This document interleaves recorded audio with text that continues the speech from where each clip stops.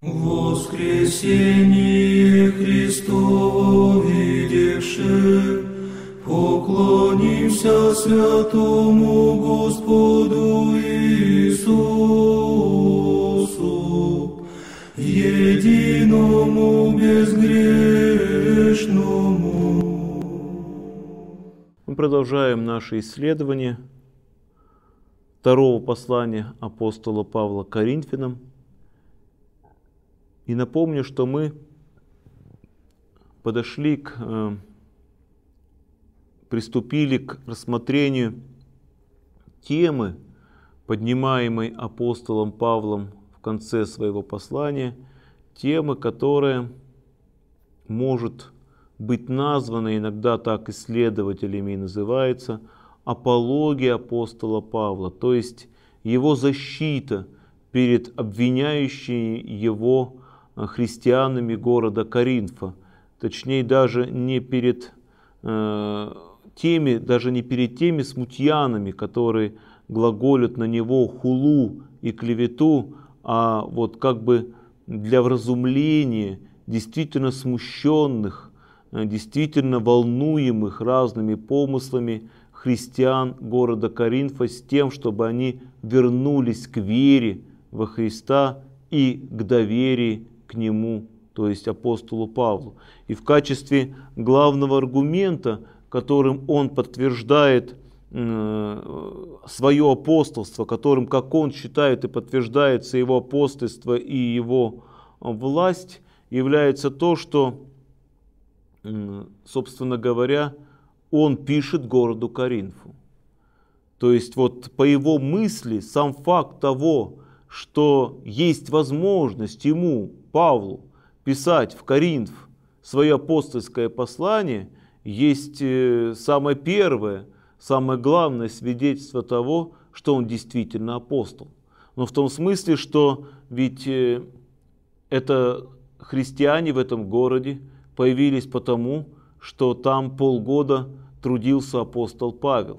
А, он пишет им именно как э, к людям, которых он сам родил во Христе родил Словом благодатным, и они э, действительно стали христианами и действительно уверовали. И то, что они действительно уверовали и стали христианами, хотя никто до этого, до апостола Павла, никто им вести о Христе не приносил, это и есть подтверждение его апостольства.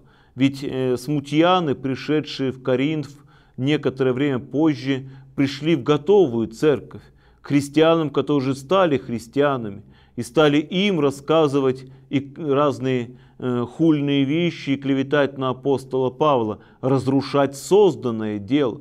И ничего другого эти люди не способны делать. Если они разрушают то, что создано во Христе, как можно охарактеризовать таких людей?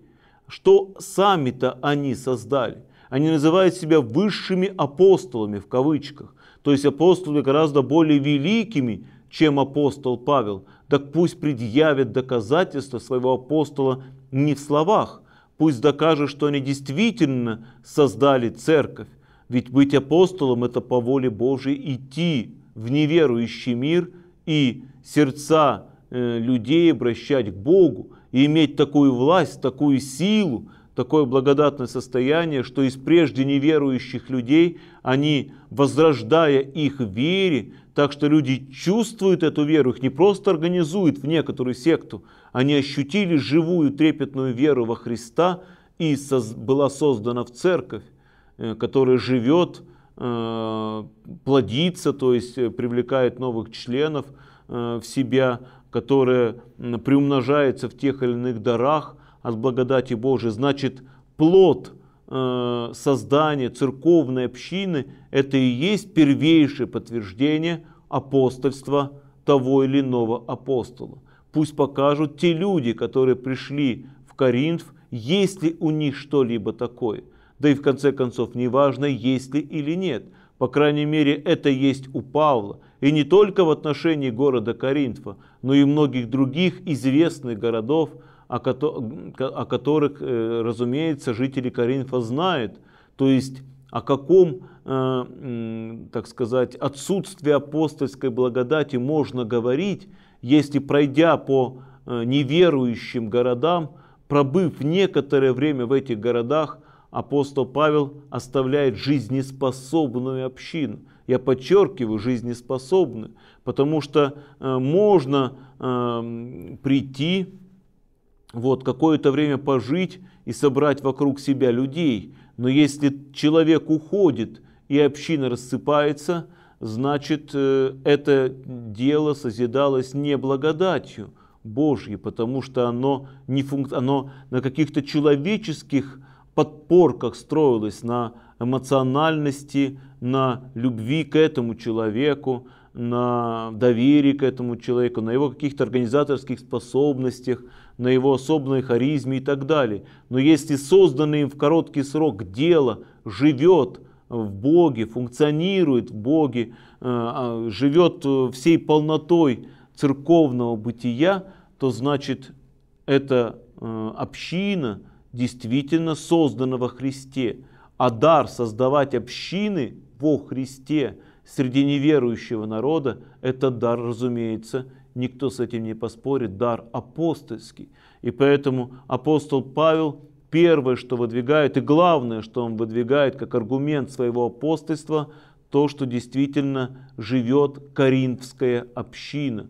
Сам факт наличия общины является свидетельством того, что он апостол. И этот же самый факт, сам факт наличия общины города Коринфа показывает, что люди, пришедшие туда разрушать, именно с целенаправленным такой задачей разрушать, они лукавы, потому что как можно прийти и разрушать то, что построено во Христе. Неважно, какова личность Павла, он сам себе ни во что не вменяет.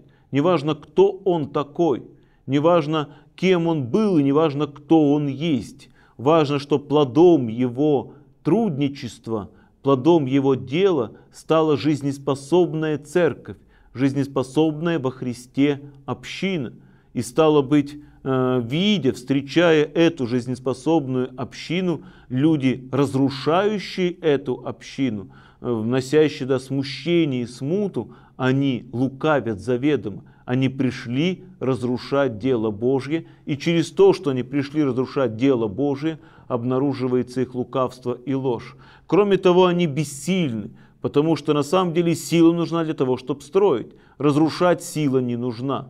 Люди, которые могут разрушать, но не умеют строить, никто их сильными не назовет. Даже если он великан, поднимающий огромные тяжести и все могущий разрушить, невелика сила разрушить, велика сила создать.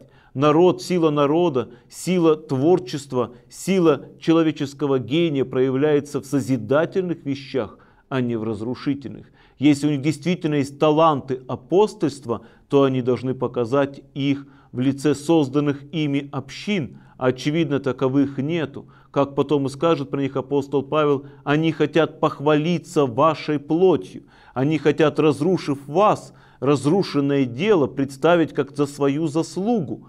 Хотя на самом деле никакой заслуги в этом нет, они же всего лишь разрушили, а к созиданию, скорее всего, и не способны. А раз они способны что-либо созидать во Христе, значит они безблагодатны. Вот такое простое логическое, такая простая логическая цепочка показывает, что на самом деле те смутьяны, которые пришли сюда в церковь города Коринфа, они э, обманщики, лжецы, потому что лукавство именно это и означает. Они лукавы, они бессильны, то есть немощны во Христе, и они безблагодатны, у них нет благодати. Зачем же их слушать и зачем им внимать, э, говорит апостол Павел. Ведь для апостола Павла важно вот то представление о э, бытии церкви, которое засвидетельствовано в Евангелии от Иоанна.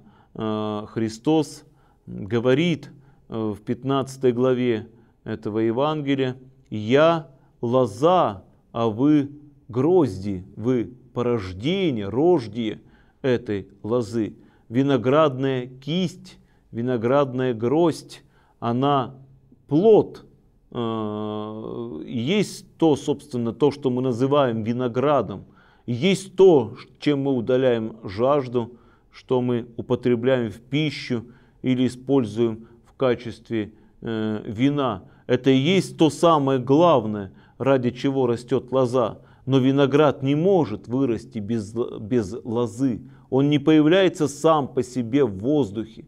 Он растет только потому, что есть лоза. И именно укорен... то, что лоза где-то укоренена и растет, причем растет очень долго и приносит многий плод. Вот э, сам факт, как бы вот результат деятельности этой лозы и является рожденные ею виноградные гроздья. То есть э, и в этом вся сила и все качество лозы и проявляется. И поэтому Христос говорит в этом же месте, что без меня ничего творить не можете. Все, что вы творите, весь плод, который вы приносите, всю сладость, которую вы питаете э, народ, вся, вся та благодать, которой вы насыщаете, она в вас, потому что вы во мне, вы э, плод моей жизни, вы порождение моей жизни, вы мое органическое э, продолжение. Если какая-то ветвь, какая-то отрасль виноградной лозы перестает приносить плод, это говорит о том, что она засохла, то есть благодатные соки лозы, питая, связывающих вот жизненными э, соками, они действуют больше, и эту ветви отрубают и бросают в огонь. Это засохшая лоза бесплодная, ничего больше не приносит. И вот э, смысл э, вот этого образа, для, то есть вот то, что рисует этот образ, для апостола Павла очень значимо. Он э, еще прежде, чем написано это Евангелие, переживает именно такой, э, так воспринимает собственная деятельность, собственную деятельность и собственное бытие, о том, что он именно есть порождение этой виноградной лозы. Без Бога он ничего делать не может. И раз он что-то делает, то это только знак того, что он привит к лозе, что он укоренен в лозе. Ну и обратно и другое. Если кто-то делает чего-то, чем бы он ни прикрывался, какими бы словами он ни презентовал свою работу, как бы он ни предъявлял э, свою деятельность другим, если он не приносит плода жизни во Христе, животворящего других людей плодами веры и благодати, то значит этот человек не привит к лозе, он пришел сам от себя во имя свое. Чуть дальше апостол скажет несколько грубее и несколько более страшнее, что могут, может прятаться за такими ложными апостолами, ложными проповедниками, э, что на самом деле не просто то, что они ничего не приносят, они приносят ложь, и это страшно. И вот фактически это главный аргумент апостольского э, оправдания, что раз есть христианская община города Коринфа, значит он действительно апостол. Поклонимся святому Господу Иисусу. Можно сказать, что это правило, оно ведь действует не только в апостольской традиции, не только в первенствующей церкви. И сейчас человек, который своими трудами Э, вот пастырь, который своими трудами созидает церковь, именно э, людей возрождает к вере, людей поднимает к Богу, людей э, обращает ко Христу. И это обращение их ко Христу свидетельствуется людьми, как именно обретение веры, обретение благодатной жизни в Господе, приступание к таинствам Христовым, то и такой пастырь, только через то, что он это делает, что плодом его деятельности является обращение людей к Богу, уже через это может и сам утешиться, что он не сухая ветвь, И для внешних это может быть свидетельством того, что это не сухая ветвь. Это действительно, может это маленький отрасль большой виноградной розы. На ней вырастет небольшой плод. Но если только тот факт, что этот плод вырастает, говорит о том, что действительно и здесь, и в этой веточке благодатные плоды приносятся, стало быть, есть жизнь благодатная, и эта маленькая веточка связана со Христом. Поэтому и для любого пастыря, сознающего, знающего, что через его служение кто-то обрел веру, кто-то эту веру сохраняет и возрастает в этой вере, для него сознание это должно являться утешением, что он действительно не напрасно восприял дар пасторской благодати, что он не напрасно подвязается, даже если что-то другое у него не получается, и он знает свои недостатки и свои недостоинства, и скорбит и плачет об этом, но то, что у него есть такие люди, говорит о том, что он на действительно осуществляет какую-то свою пока или вообще меру данный Богом талант. Но и также для внешних э, это является очень важным подтверждением. И вот дальше апостол Павел свидетельствует. «Ибо мы не напрягаем себя, как не достигшие и до вас, потому что достигли и до вас благовествованием Христовым. Мы не без меры хвалимся, не чужими трудами, но надеемся с возрастанием веры вашей, с избытком увеличить вас удел наш, так чтобы и далее вам проповедать Евангелие, а не хвалиться готовым в чужом деле. Хвалящийся хвались о Господе, ибо не тот достоин, кто сам себя хвалит, но кого хвалит Господь.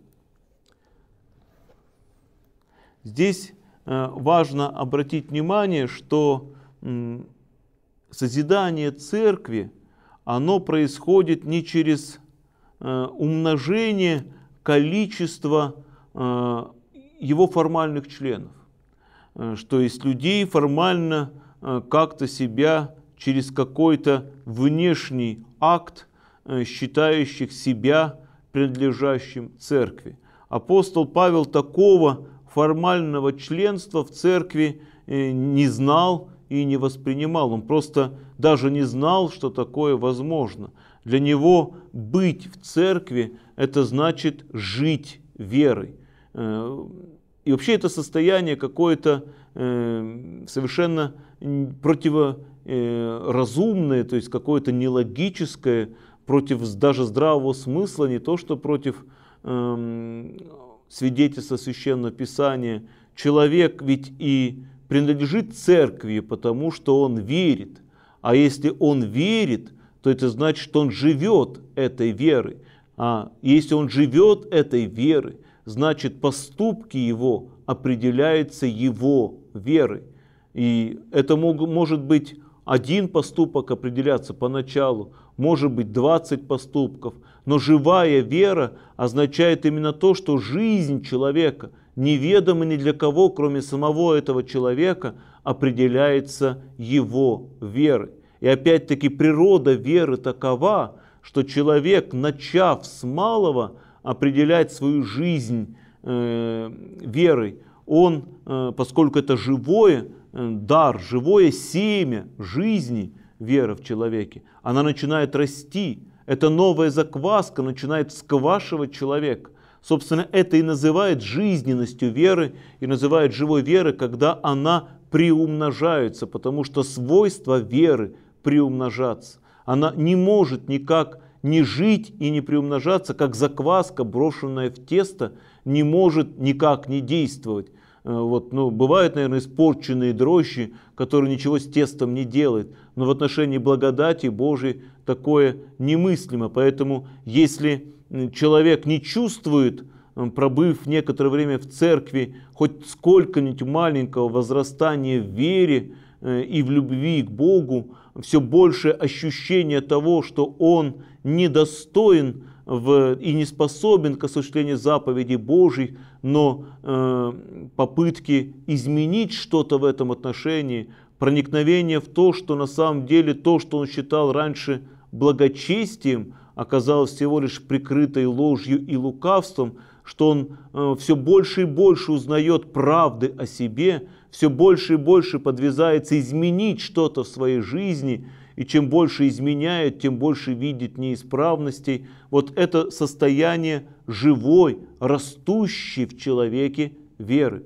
Если же в нем не изменяется ничего, ни представление в самом себе, ни его э, впечатление или представление о Боге, его связь с Богом никак не меняется за некоторое время пребывания в церкви, за годы пребывания в церкви, то значит в нем нет веры живой. В нем есть что-то формальное, то есть мертвое, не живое. Ведь формальное это значит есть форма, но нет содержания. По форме он может быть мнит себя или днится другими быть христиан, христианином но по содержанию он не таковой, потому что он не живет верой и не чувствует это постоянное изменение в себе отношений с Богом, отношений к Богу, отношений к ближнему. Вот этот э, очень важный момент. И именно о такой общине, общине неформальной, а общине, где действительно каждый верует – каждый э, живет этой верой, вот о такой общине и говорит апостол Павел, как о э, церкви, созидаемой силой и благодатью Господа Иисуса Христа. И вот э, продолжая эту тему в 11 главе второго послания, апостол Павел говорит, какова роль пастыря, вот, но особенности апостола, конечно, вообще апостольское служение выражается в этом. Какова роль пастыря в отношении, э, вот какую функцию он, так скажет, играем, играет в отношении между Богом и его церковью. Оказывается, эта роль есть. Вот начинает 11 главу апостол Павел таким образом. «О, если бы вы несколько были снисходительны к моему неразумию, но вы и снисходите ко мне, ибо я ревную о вас ревностью Божией, потому что я обручил вас единому мужу, чтоб представить Христу чистою девой, но боюсь, чтобы как змей хитростью своею прельстил Еву, так и ваши умы не повредились, уклонившись от простоты во Христе. Ибо если бы кто, придя, начал проповедовать другого Иисуса, которого мы не проповедали, если бы вы получили иного духа, которого не получили, или иное благовестие, которого не принимали, то вы были бы очень снисходительны к тому. Фактически э, апостол э, вообще и потом как преемники апостолов, епископы, они являются, собственно, блюстителями. Слово епископ так и переводится. Блюститель Э, невесты. То есть он, используя евангельский образ, он друг жениха. Он ведет невесту к жениху. Он ее охраняет. Потом, когда она станет соединена с женихом, когда они станут мужем и женой, это будет забота мужа. А пока он должен ее сохранить, он должен довести ее до э, вступления в брак. Он должен, или как рассуждать до, до аналоя, чтобы никто ее не развратил, не похитил, не э, оскорбил никаким образом. То есть его задача именно такая. Он блюститель, э, охранник, он бдит, смотрит вокруг, чтобы кто-нибудь ничего не сделал с этим драгоценным сокровищем, которое он должен довести до жениха. Вот это образ Э, блюстителя, образ епископа и есть важнейшая э, составляющая и епископа как э, служителя церкви, апостола, тоже по преимуществу. Так вот, оказывается, для нас это важно еще и тем, что оказывается, есть возможность, есть вероятность того, что невеста не пойдет к жениху. Он ее обручил, то есть э, апостол или епископ, вот вообще суть апостольского служения, что он принес некоему человеку или группе людей, принес призыв Божий, что вот вы призываетесь к Богообщению, вас ждет богатый э, брак, э, вас ждет э, благо с Богом, брачная жизнь с Богом. И вот знак того, что Он действительно вас призывает, является вот это а, обручальное кольцо, обручение, э, реальным обручением, мы видели из апостолов Павла, является благодать Святаго Духа.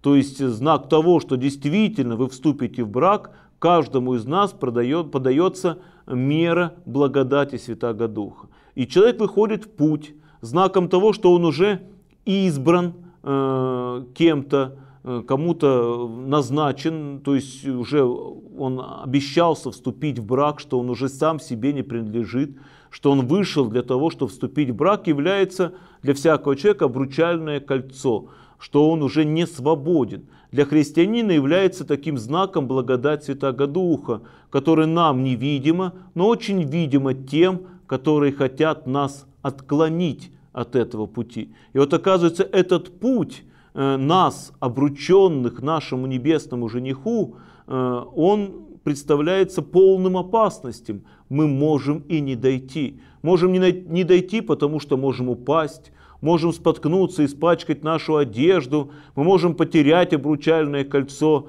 Вот, но самое печальное, мы вдруг можем решить, что не хотим мы никуда идти и можем вернуться обратно. Или по дороге встретим кое-кого, и он скажет, знаете, а в другом городе живет другой жених, не пойти ли вам к нему? То есть э, суть пастыря вообще, вот почему я и подчеркиваю, что не только апостол или епископство – епископа, а вообще пасторство в том, чтобы сохранить вышедших навстречу жениху и принявших в дар обручения благодать Святаго Духа, их надо довести, их надо сохранить, их надо во что бы то ни стало в целости и сохранности представить Богу. Вот это главная задача пастыря. И вот что интересно – момент, на который указывает апостол Павел, действительно потрясающий момент, объяснение которому еще никто не нашел. Но почему-то христиане, принимающие, э, однажды принявшие весть о Христе и уверовавшие во Христа, и знающие человека, который помог им обратиться к Богу, вдруг совершенно снисходительными оказываются ко всякому другому посланнику, ко всякому другому человеку, говорящему о другой, другом браке, о другом Боге, о другом женихе, о другой вере, о другой образе жизни и вообще все, что угодно, вливающий в уши человека, и христианин уже христианин, потому что он обручился своему жениху и получил благодать Святаго Духа. И вот христианин снисходительно слушает любого, кто хоть что-нибудь будет говорить ему еще о других женихах или о других э, виртуальных возможностях соединения с какими-то другими силами или с другим браком, э, с кем-то другим. Вот почему действительно уверовавший христианин так снисходителен ко всему и к э, любому человеку, пришел, который пришел поговорить о, Боге. Пусть он не нашей церкви, но он э, сует мне какую-то книжечку, и мы доверчиво принимаем и читаем, и верим всему тому, что там написано. Кто-то сказал об астрологических каких-то знаках, мы этому верим, и тут внимаем, и эти книги читаем. Кто-то сказал о карме, и этому верим. Почему мы так доверчивы? Пока не уверовали, да, у нас есть объяснение, мы ищем того жениха, который пришлет за нами своего посланника. Но когда мы уже вышли в путь, мы дали согласие сочетаться со Христом. Почему так снисходительны мы к тем, кто говорит нам ложь? Ведь именно через это снисхождение и доверие к змею Ева потеряла неоценимое блаженство. Поклонимся святому Христову воскресению, Всего приди Христом радость всему миру.